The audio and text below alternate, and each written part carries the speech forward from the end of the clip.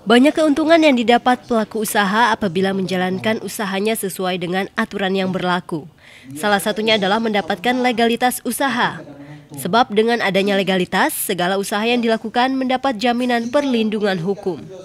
Namun sebaliknya, apabila pelaku usaha tidak mengikuti aturan, maka produk usaha industri dapat dikenakan sanksi hukum, sehingga tidak bisa mendapat pelayanan publik dari pemerintah, seperti kepengurusan dalam mendapatkan izin usaha.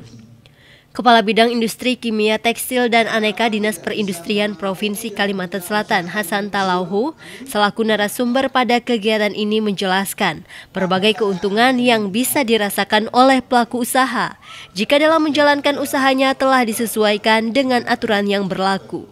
Kalau nanti ada klaim, katakanlah dari konsumen terhadap produk yang dihasilkan, maka dia punya jaminan bahwa saya produksi ini karena saya punya izin persoalan nanti ada pelanggaran atau ada trouble di dalam dia memproduksi itu ya pasti kita bina ya kita bina sepanjang itu tidak uh, menimbulkan katakanlah konsekuensi pidana maka kita sebagai instansi pembina masih punya uh, kewenangan untuk membina dia.